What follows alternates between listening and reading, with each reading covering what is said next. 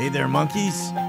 Grab that cup of coffee, kick back, and relax. We'll get started with a sit rep in just a minute.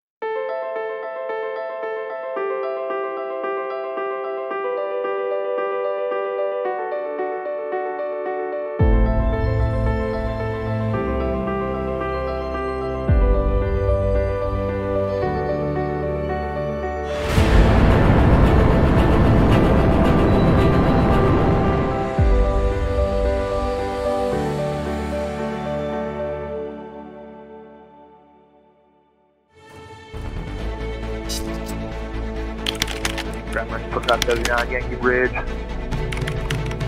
2025 79 days to Regan San Tequila. 2377 on Alpha Kilo going somewhere around 597. 77 days to Regan San via Lima Kilo 5 and hold short of Kilo 7.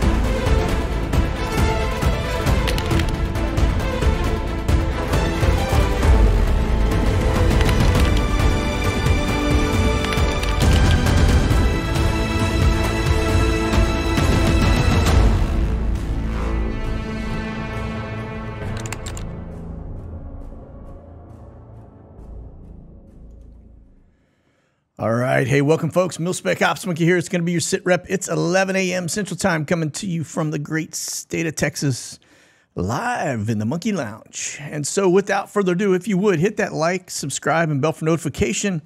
And uh, let's get on into what we've got to cover today. We're going to talk a little bit about uh, the usual stuff. Uh, we're going to take a closer look at the skies. Uh, and then we're going to talk more uh, in detail around some of the things happening in Syria, the things going on around the Black Sea uh, in terms of Constanta, and uh, what is happening with your dollars and what is going to be the big booster that gets us out of this economic rut that hasn't even hit yet, but many, many, many people are already feeling it. And so, uh, yeah, so let's kick it off as always here in Skyglass. Again, if you don't have this app, uh, I'm telling you, you are missing out on a lot if you're using just the other trackers. So this thing will get every bit of data you need and uh, paints the picture. This is the beauty of Skyglass and why I like it so much. I get uh, a lot of screenshots of things that are from above, and uh, it's it doesn't give you the complete picture. I mean, if you look at it like this, right, you can see traces, you can see where they're going, uh, but you can't tell. You know, are these touch and goes? Or is this, uh, you know, holding altitude and, and providing um, fighters with fuel? And the only way to tell from this uh, is to basically drop down and look at it, and you can see uh, it's it's a higher altitude, right? And so um, that really does help quite a bit, especially if you're looking at things over in, say, Constanta around the Black Sea, uh, when you're looking at traces of aircraft that uh, are coming into the area and going around it's hard to tell is it fighter support or are they, you know, basically getting some stick time uh, and cycling that gear, right? Uh, like I said, it's just a beautiful thing. So, all right, we're looking at air refuelers currently on the screen. We've got 19 up over the United States. And uh, as you can see, our usual little suspects down here on the Texas border, which is a very good indicator of fighters down here on our Texas border. And I'm not talking about Laughlin or Del Rio or anything like that. These aren't trainers. Uh, these are going to be, you know, actual fighters that are patrolling our skies. Okay. Uh, and then notice we've got one up here to the north uh, towards Canada. The usual stuff here, uh, kind of in uh, the mix south of Detroit, etc. And then over, you know, the northeast, which is uh, that's the normal kind of protocol here. This one is out over the the kind of the point there, south of Virginia Beach, just over right on the coastline. So we probably have some fighters out this area as well. Uh, man, interesting times we live in, isn't it? So, all right, let's jump over to Europe. and uh, don't have anything showing. So let's uh, let's kick it on around. Let's go over to Japan, see if we've got anything. Nothing there. Down to Australia, and uh, nothing there. So uh, we will head back over here to CONUS, and then we're going to unzip what we have here and um, and see what else we got in the sky. So let's uh, let's do a total count. We'll take the air refuelers out. I guess I lost my DC-10 that was already on there, so that's good. And uh, we're going to refresh that button real fast. And let's see what we've got total count wise, uh, which should pump in here in just a second. I wonder why it is not wanting to do that. Well, while I mess with it, yeah, I don't see that DC-10 on here. Okay, so yeah, the way we got to do it. All right, here's your 41 NAs. Just uh, these are people flying incognito. So let's just do it this way. I want to, since it's not loading the other piece, eh, let's uh, let's look at the traces for the heavy lifts. We haven't done that in quite some time, just to get a general feel of where these aircraft are headed. Uh, we're looking at C-130s, C-17s. It looks like a single C-5 that's up in the air, and uh, these traces remember, uh, just this thing is painting a picture every five seconds. Okay. And so here we go and just kind of get a general feel. And then we'll throw that C5 in the mix. Then we're just going to go uh, another one here. There's another C5M down there, kind of hiding from me. I think we've got them, most of them. And yeah, you can see, looks like a little activity here on the West Coast. I was expecting to see a lot more into the port here in South Carolina, but uh, don't see that. Um, mostly the yellow lines here are going to be your C-130s. So those are going to be kind of those. Uh, they carry a lot, but not anything like the C-17s do. All right. Uh, let's go over and look at Europe. See if we've got any activity here. Kind of paint a picture for us. Most of the moves, uh, although the the C-17, the military stuff, is definitely you know, moving a lot of big hunks and chunks. Most of the stuff that's getting transported are going to be those independent charters like uh, the Atlas Airs and the Western uh, Global Western Globals, Omnis, uh, you know, Kalitta. Those are going to be the folks that are really moving most of our equipment right now. And then a lot of it's coming in on uh, the ocean freight too. So, all right, C-17 wise, eh, not too busy. Of course, this is grabbing stuff that is actually flying and up in the air right now. So, uh, all right, let's get over and take a look at the watch list.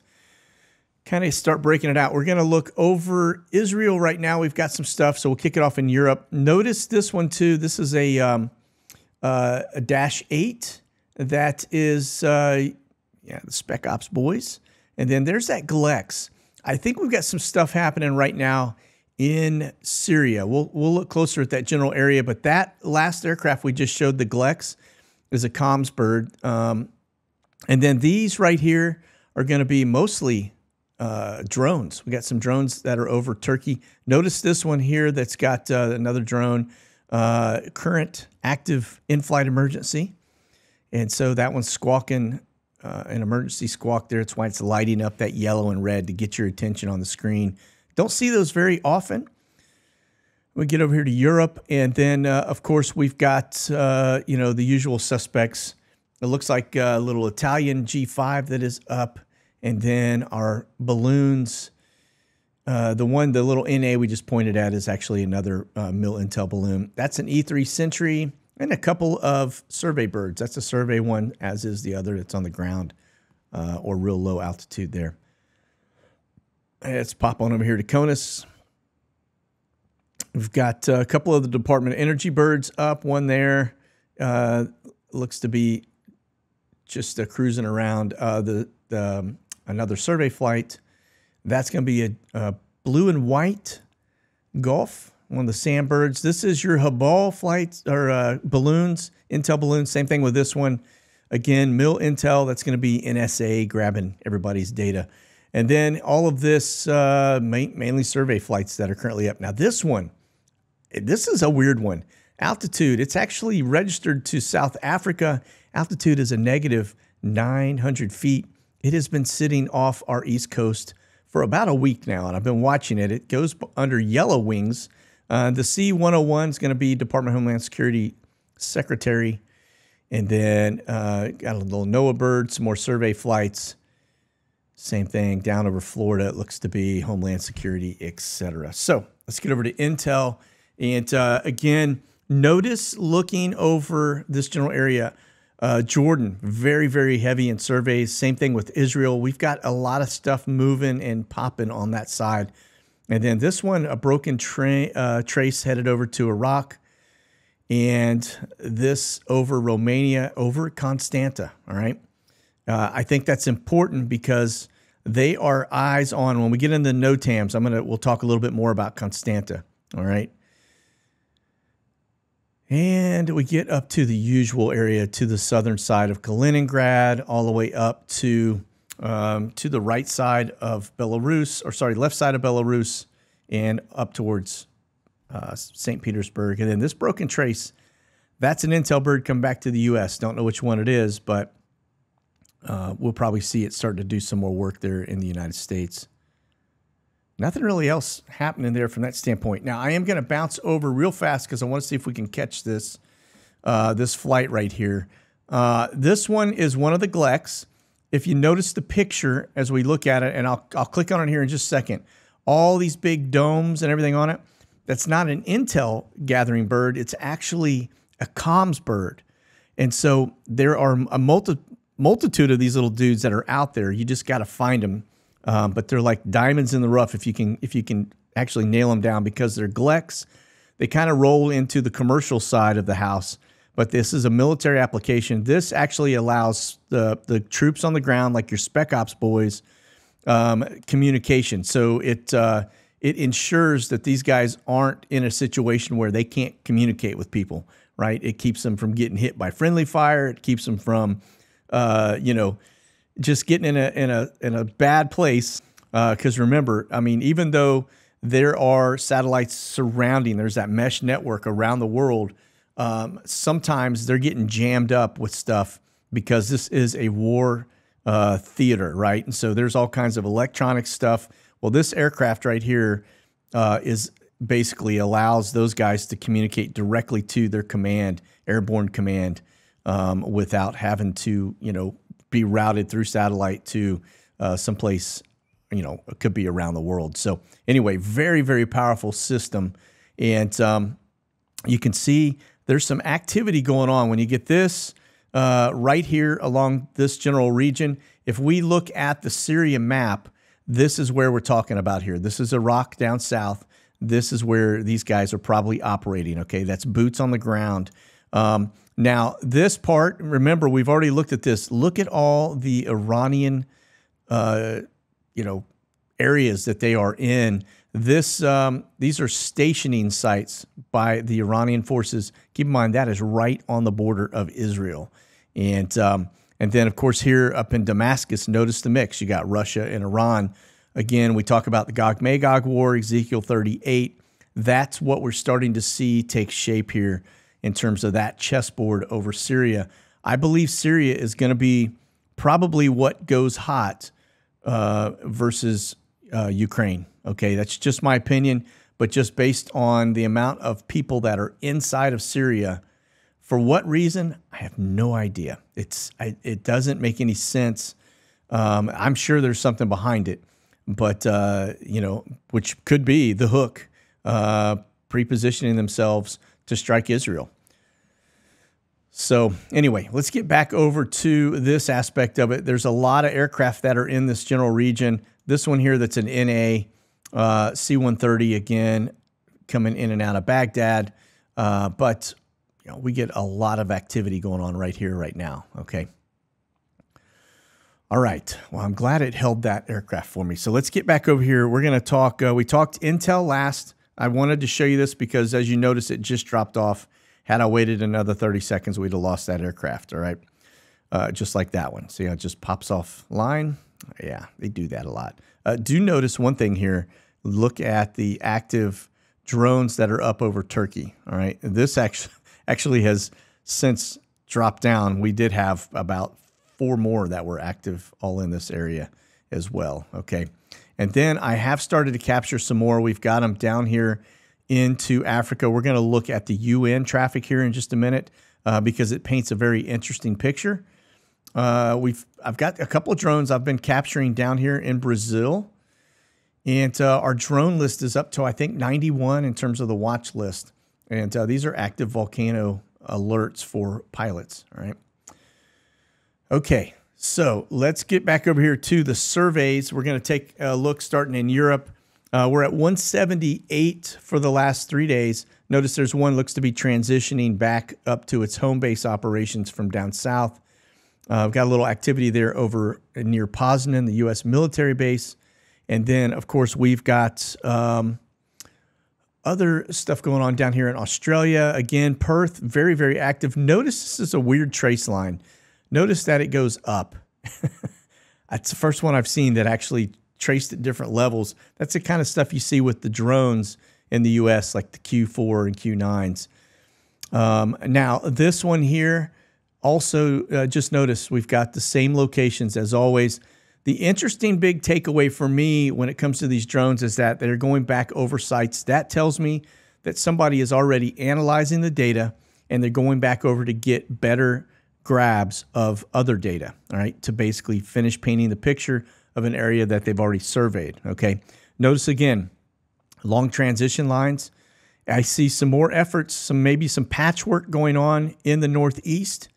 I my feel on this, uh, if you're not familiar with the survey flights, what I'm talking about, you're talking about aircraft that are doing ground gathering data um, using techniques like lidar or just straight up camera imagery, right? Uh, video type of stuff. Why they are doing it, I think they're shaping a battlefield. I think you're going to have something happen either economically or uh, it could even be related to, um, you know, a coming election or something along those lines. But the fact that it is uh, going around the world tells me that this is probably going to be tied to uh, some type of a collapse, economic collapse, et cetera. They're going to have to contain areas uh, because it's going to spill over. It's going to get crazy if this is indeed what they're doing. I do think it is for a battlefield, though. Um, so, all right, let's get on over to the Ruskies. And uh, you can see in and out of Moscow, uh, got some interesting traces headed down south and north. That one's kind of normal. This one is uh, into Turkey. You expect that. But then notice you got them coming down into the uh, into South Africa, Cape Town all the way down. Now, this is, again, the Ruskies, right? They are working on building that alliance within Africa right now, hot and heavy. We got them into the same areas, and I'm going to show you the UN side, headed in the Middle East, there into Qatar, UAE, and then notice here into uh, kind of north, uh, I guess China would be the other locations, and then it looked like northern India there, but uh, or north of India. Uh, that could have just been a fuel stop, though. All right, that's going to be your Ruskies. Let's look at the drone aspect. Just notice this one is a trace that is broken, looks to be headed out toward, uh, you know, on the Pacific side, maybe towards Hawaii, uh, maybe not. Uh, we'll watch and look and see if we get any drone activity over Hawaii. But again, coming out of that Malta area, headed up uh, towards Constanta. Again, uh, that is a major, major uh, location for NATO for probably a, a, good reason. I won't say the word, we'll just call it HT. And uh, you'll just have to figure what HT means. I know you, you guys can do that um, without me saying it.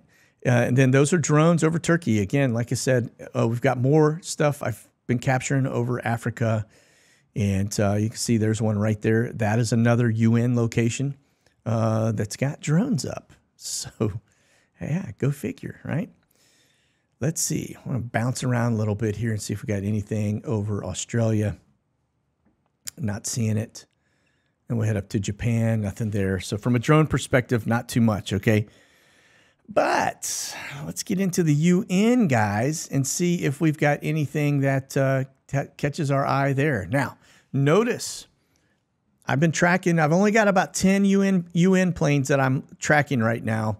Uh, I just keep adding to the database that's an area we kind of expect to see them in over there to the western side of Africa. In and out of Ethiopia looks to be almost like a base, home base operation.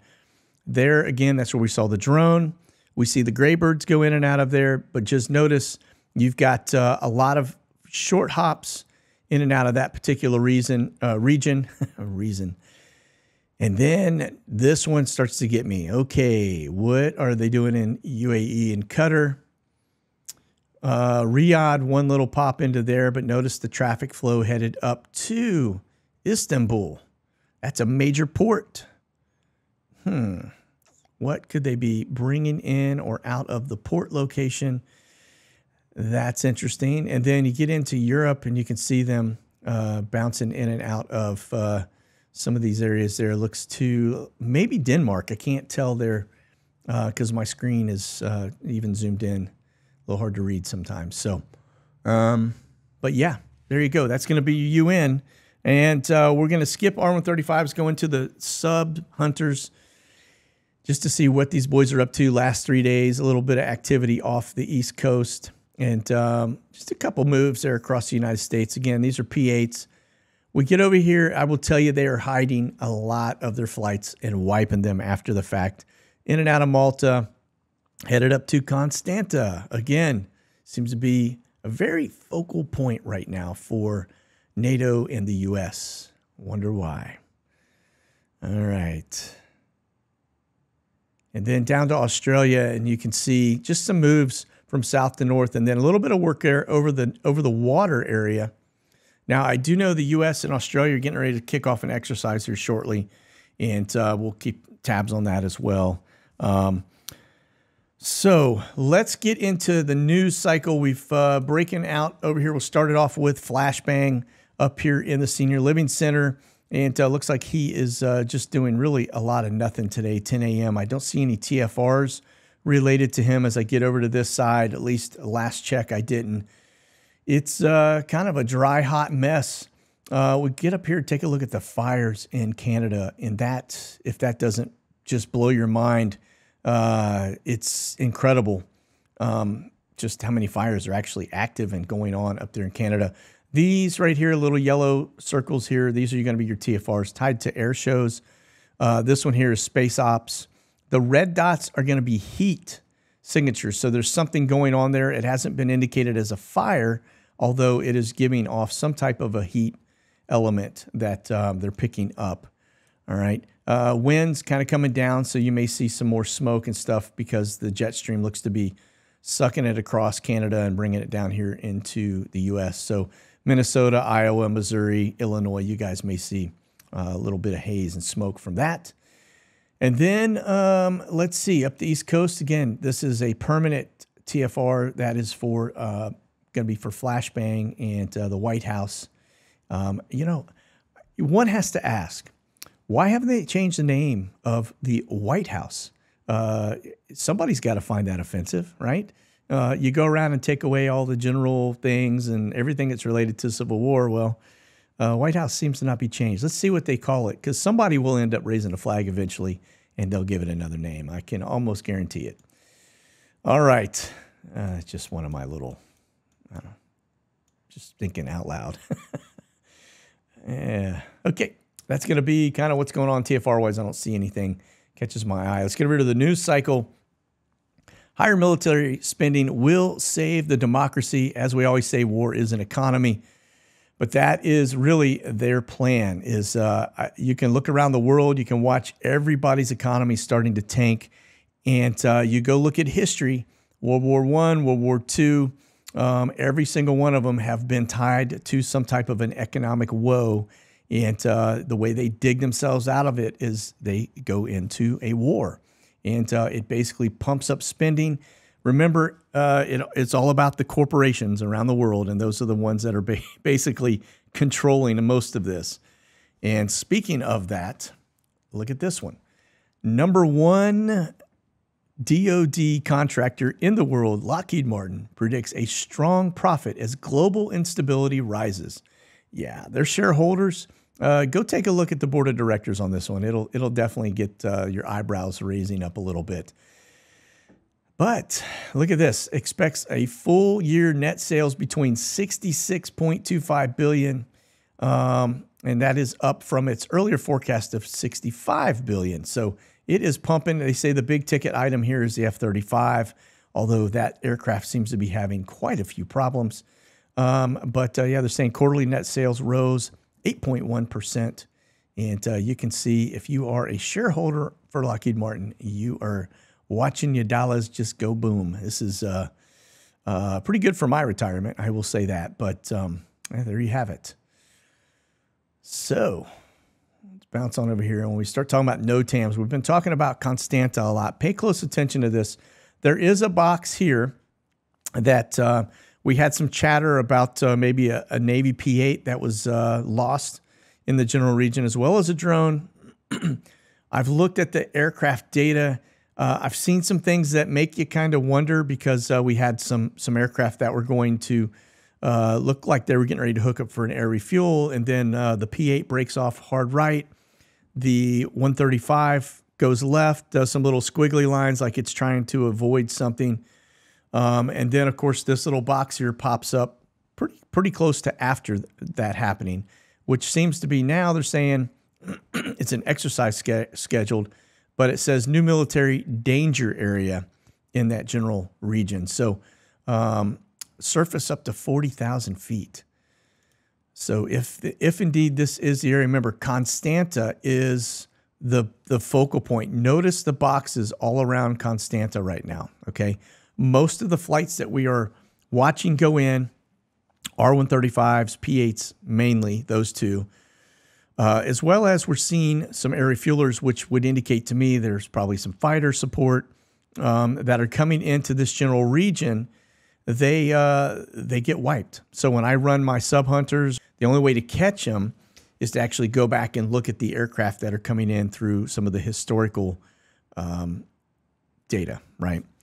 Ukraine situation report: huge explosions in Crimea that is near the depot. That's a, uh, basically a hit by a Ukrainian drone strike that took this out. Now we get back over here. If you're not familiar, this is uh, this is Crimea. This is Russia, heavily Russia occupied.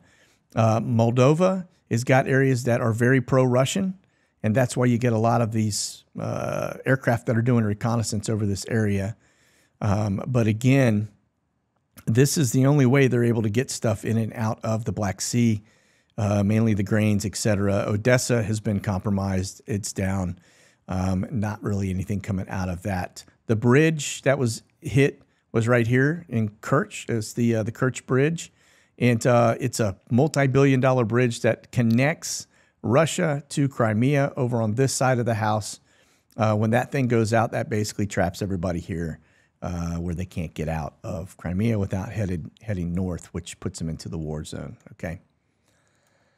Of course, Zelensky he blames his failing counteroffensive on a lack of munitions from the West and delayed training. Yeah, it's our fault, folks, because these guys don't know how to fight. You can give them everything you want; it doesn't matter.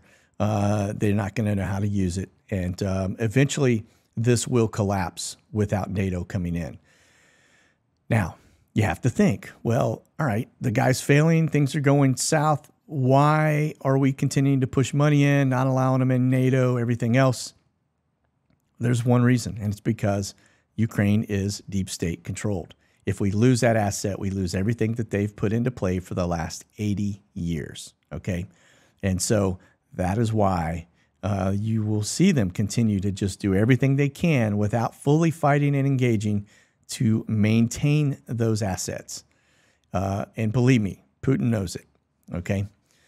All right. Let's move on over to this piece.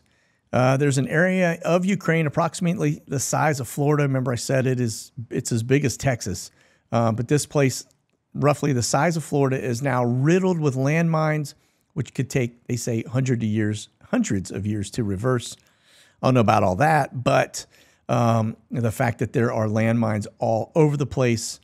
Uh, now add to that mix cluster mines, which is going to be the next level stuff, okay?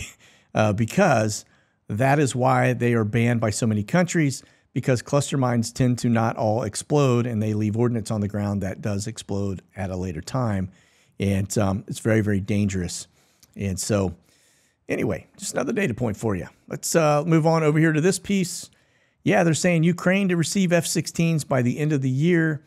And uh, I don't know who this Kirby dude is, but um, it looks like, uh, oh, he's part of the National Security Council, right? John Kirby. Um, but uh, yeah, they're saying by the end of the year, which here's the reality. As Zelensky talks about, they're, they're not being trained. We're not giving them enough stuff to fight the war. Keep in mind, they are blowing through enough munitions in a month that uh, we produce in a year. All right. We're borrowing stuff from our own military and troops uh, to fight this war, and they're losing. Okay.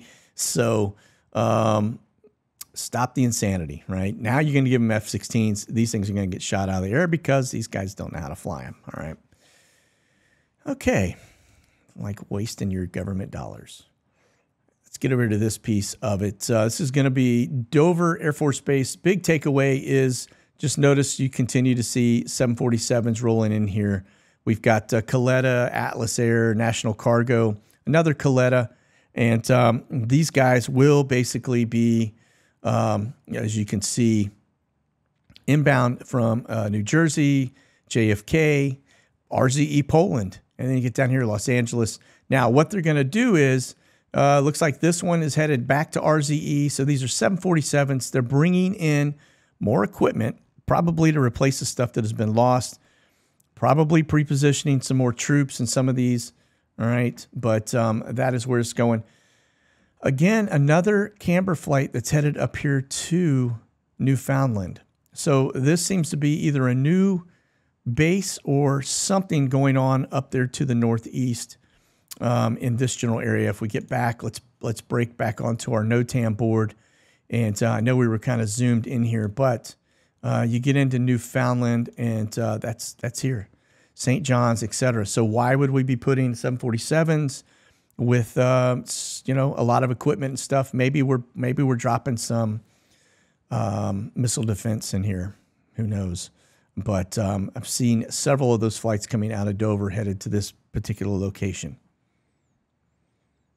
And then as we look at the NOTAMs here, just uh, just so you can see, uh, we do still have the danger boxes off the east and west coast. All right, back over here. We were talking Dover. Let's get over to Ramstein and um, just uh, notice uh, a lot of thunderstorms in the area, some pretty heavy ones too uh, in the general region.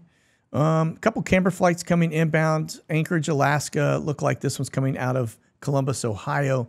MD 11 maybe troops coming in, right? And from there, these guys will get uh, dispersed into other areas. Notice 747 leaving Ramstein headed into RZE Poland forward operating base, and uh, Western Global bringing in this one from Ostend. Um, it's an MD-11, so maybe troops. All right, although it could be could be artillery. RZE Poland. Let's get down into it. Let me button this up. And uh, again, forward operating base. This is Ukraine. This is Belarus, pro Russia. All right. That border runs all the way up, uh, you know, covering that. Uh, probably about half of the, the Polish border is uh, up against a pro Russian area here. This is our forward operating base. This is where we're staging everything that's going to get pushed into Ukraine, most of it on train.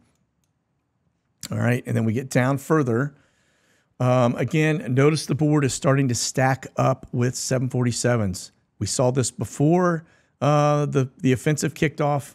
Um, this could be bringing uh, more artillery, more equipment, more cluster bombs, whatever it may be.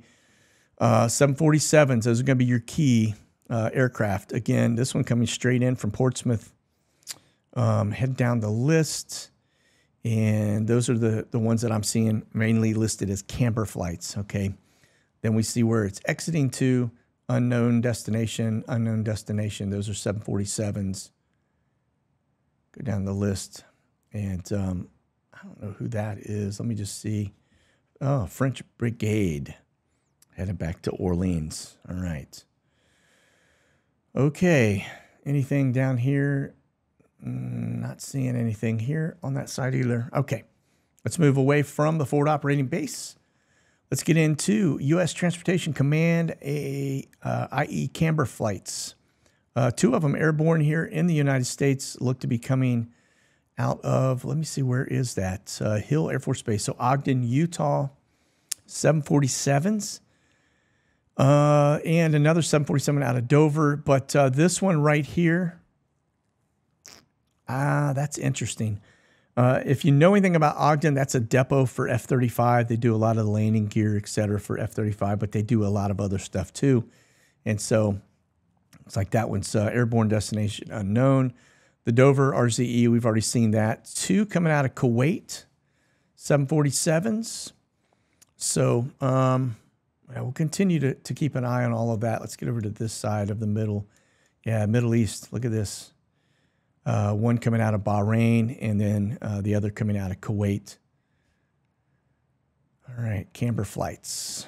And then this uh, Western Global. So looks like that one is rolling out of Washington Dulles, 747, headed to Frankfurt. Probably troops. Remember, we've got 3,000 that just got activated. So it takes a lot of airplanes to move 3,000 troops over. Um, and so we'll be seeing that for probably, you know, a week, maybe two. Um, as they pepper, you know, people get activated, they show up, and then they get sent. Um, plus, on top of that, you got another 446 that are being pulled in from the uh, ready reserve. Um, those numbers are only going to go up. And if we go to war, you can bet your bottom dollar you're going to see a draft pop in very quickly because we don't have uh, near what we need to fight a war. Uh, at least not on that magnitude. All right, here we go. Omni headed out of uh, Anchorage to Okinawa. And then it looks like we got one coming out of um, Guam headed back to Hano. Remember, we've got a big, um, actually, a large exercise going on down here. That's why we've seen these flights coming in and out. So a lot of troops headed that way and back uh, if the exercises have, have ended. Uh, but we do have another one now getting ready to kick off with Australia. All right. Um, and the Australia one is actually focusing on long range missiles. So think uh, ICBMs, that kind of thing. All right. So we may see some launch boxes down there. All right. Uh, looks like the Brits are headed down there to Southeast Asia, maybe. Um, yeah. I don't know where that is. Sorry, I say Southeast Asia. Hey, that's Florida. May as well be Southeast Asia. This is Cuba. Uh, yeah, Puerto Rico. Uh, there we go. Yeah, oh, man, I tell you what, you zoom in and you look at something and you think it's one thing and recognize it halfway through your sentence. All right, uh, looks like we got another one coming out of Cyprus, headed back probably to the UK. Several others landing in the UK. So this is our equivalent of a camber flight. Okay. And then last up, let's look at our uh, immigrant machine. Just notice the pump headed down south. All right, a lot of lot of folks being deported. Of course, nowhere near what should be, but um, that is where they're headed right now. Looks like South America, Central America. Nothing up to the north. Okay, well, listen, that's going to do it. We'll continue to keep our eyes on our southern borders. We'll continue to watch things going on with um, with Ukraine, and then Syria is now our big watch list. As always, I don't feel like the China issue is going to be the immediate threat um, based on the fact that we seem to be pulling equipment over to the other side uh, of the world into Europe from there. Um, I think what we are probably seeing over on that side of the world is uh, just a a force that is there to handle North Korea should they get out of line. That's probably about the extent of it. Okay. All right, listen, that's going to be it. You guys uh, keep that powder dry, stay frosty, and we'll see you on Wednesday next sit rep. God bless. Monkey out.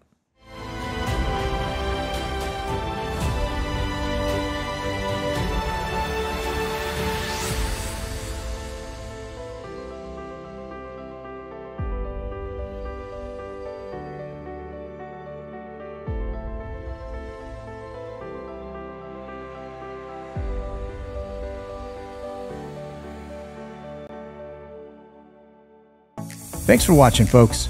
Check out the latest gear and products over at monkeywerxus.com.